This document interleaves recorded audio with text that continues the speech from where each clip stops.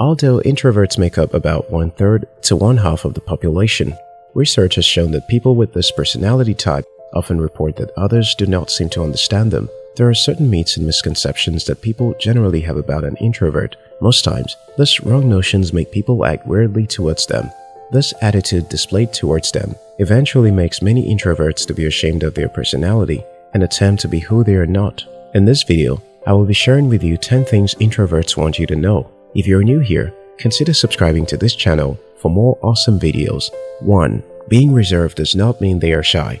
People sometimes make the mistake of assuming that just because a person is quiet, it also means the person is nervous. It is essential to understand that there is a big difference between introversion, shyness, and social anxiety. Introverted people are not necessarily ashamed to talk to others. Although some introverted people experience shyness or social anxiety, it is a different case on its own. Introverts tend to be more reserved and calm. They prefer to get to know a person before immensely getting themselves in a conversation, they are likely to understand their audience and prepare for speeches before stepping out to speak. Introverts typically don't enjoy a lot of chit chats or small talk, but they are certainly not shy. So, the next time you notice someone quiet, don't assume that they are nervous or afraid of talking to others. They are just reserved. 2. They are not rude. Introverts can be quiet when you meet them at first, especially when they have not had any form of conversation with you in the past. Because of their calm nature, people tend to perceive them as proud and arrogant. Before you interpret this initial reserve as rudeness, reflect upon personality and interpersonal styles. An introvert might simply need to get to know you better before they feel comfortable and willing to open up to you. 3. They don't have low self-esteem. Another common falsehood about introverts is that they are quiet and reserved because they have low self-esteem or lack self-confidence. This misconception can be especially problematic for introverted kids who are always pushed into awkward situations they don't want to be in by adults who assume that socializing is the way to boost the self-esteem of kids who are perceived as shy and insecure. Introverts don't want you to believe that reserved people lack confidence or self-esteem. Self-esteem and self-confidence issues most times stem from experiences, and even extroverts can have such problems. When an individual receives constant feedback from older adults and peers that something is fundamentally wrong with their personality, they might start to question themselves as a result. 4. They don't need help. In our society today, a lot of people treat introversion as something that needs to be overcome. Many introverted students report that teachers and other adults often compel them to do things they find uncomfortable or overwhelming in a bid to fix them. For instance, a teacher may pair quiet kids with the most extroverted kids in class for group assignments with the justification that they're too quiet and getting you out there more will help you get over it.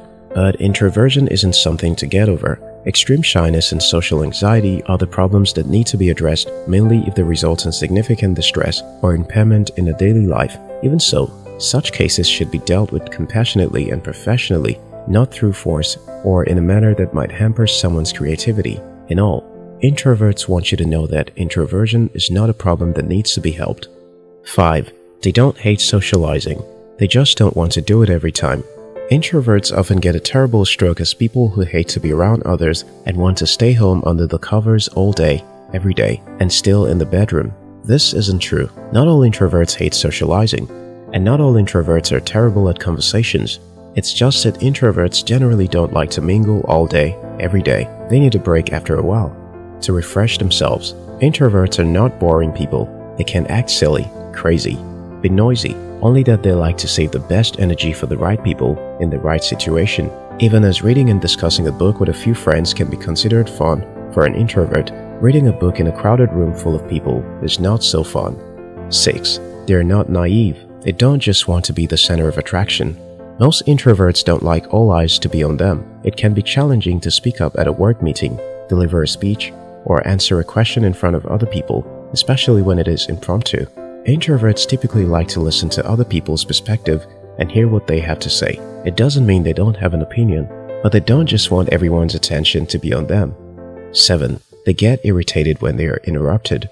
One thing you should know about introverts is that they don't like to be interrupted when they are thinking, talking, or doing something. For example, an introvert may not find it funny if you visit them unannounced or badge in on them.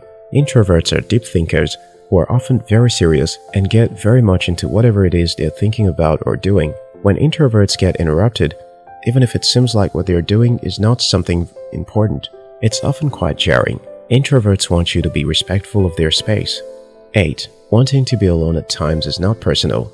The most significant distinction between introverts and extroverts is that introverts gain energy from being alone. After being around a lot of people for an extended period, introverts need time to themselves to recharge and feel more relaxed. Being around tons of people for a long time drains introverts. In fact, they probably do not talk to their close friends daily. So when an introvert does not agree for that visit or a long phone call, it is not because they have something against you. It probably has more to do with the fact that they like to be alone for periods. Being alone allows introverts to sit back and think about things. Eventually, recharging themselves makes introverts better friends because it gives them the energy they need to show up in their relationships in a meaningful way. 9. They are not angry or depressed, they just want to be alone. When an introvert feels overwhelmed by too many people, they often need a little quiet time and solitude to recharge. A typical introvert can excuse himself or herself from a party or gathering before it ends. Unfortunately, people sometimes misinterpret this desire to be alone as a negative emotion, such as being angry, depressed, sullen, or anxious. Countless times, introverts get to hear statements like, come out of your room and stop sulking, when they're just really trying to have a little quiet time. For extroverts who might not understand the meaning of solitude, a person wanting to be alone might be strange, whereas introverts might be surprised to find that other people interpret the need to be alone as anger or depression. 10. Everyone must not be an extrovert. Due to the pressure many introverts face from people who believe that extroversion is the norm, they tend to force themselves to become who they are not. A lot of extroverts will go out of their way to make their introverted friends be more like them. They'll try to coax them out of their shell by telling them that being social makes a person more likable. But one thing they fail to understand is that everyone must not be an extrovert. Imagine everyone out there is loud and all. Who will be the writers, inventors, and all we see today? Several kinds of research have shown that most of the world's creatives are introverts who got their ideas in their alone time.